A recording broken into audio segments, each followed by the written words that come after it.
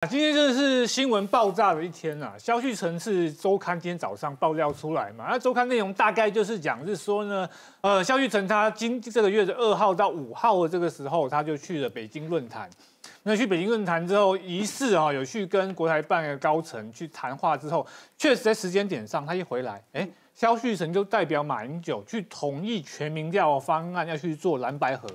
时间点是很巧合，那后来呢？萧旭成呢就开始发声明说，叫侯办呢不要在那边胡说八道啊，没有啊，他就只是做学术交流。侯办又说，这消息不是我放的啊，是周刊讲的，跟我无关。目前的进度大概到这边，但大家也确实看到说，原本蓝白他们就各怀鬼胎嘛，所以就从不分区啊，或者区域上面很多的冲突，最后怎么能够？谈到合在一起，确实是跟马英九这只手介入很大，而且这整个制度就是马英九量身定做的，马英九他可以决定。谁去当正的这个总统？所以消息人去了北京论坛的时间点，当然大家就会备受讨论。而且昨天还有很多国民党说，马英九今天只是在那边泡茶，他不会讲话，还干嘛？哎，马英九现在是决定谁是总统的人 哎，他那一票非常的关键啊，他他推派哪一个民调专家，决定谁哪一家的民调，基本上就决定是柯是正的还是侯是正。那因为我现在压力是大家都很大，因为很怕说我们节目哦，习近平在监控，看我们说 看我们说哪一边比较难打，就派的那边出来哦，说科比较难打，科就是正的；说猴比较难打，然后太猴了。然后这说压力很大，是但我还是讲真话了。其实科比较难打，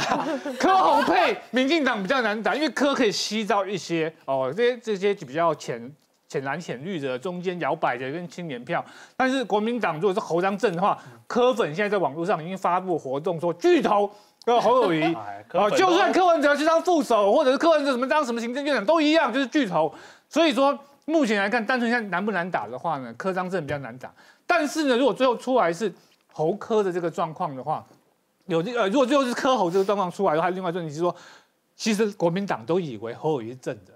国民党内部几乎所有立委参选的议员，他们都觉得这一局就是柯文哲要退了。那侯友也觉得他自己是正，对，所以他笑得很开心，他笑得出来。如果最后结果是大翻盘，那既然是柯的出来选，侯友谊跟国民党这边很可能就是他可能不会直接翻脸，但是会透过消极的不配合这个方式去选，内部矛盾跟冲突会很大。现在状况就是说，他们这个最后会到这个礼拜六早上的时候，马英九才会公布，是马英九。决定马英九遴选出了到底柯跟侯谁是当政的，这其实也是蛮荒谬啊！讨论各种什么德国、日本什么金补充的什么欧美民主初选方案，最后就是马英九拍板定案这样说了算。那对于整个民进党呃来讲的话，其实三卡都民党已经很久没有赢了。上一次最经典的就是陈水扁 二两千年那一次赢嘛。嗯。但是最近的地方选举哦，去年的新竹跟台北，以及二零一八年的台北。三咖都底下，民进党都面临叫青年票流失、中间票流失的问题。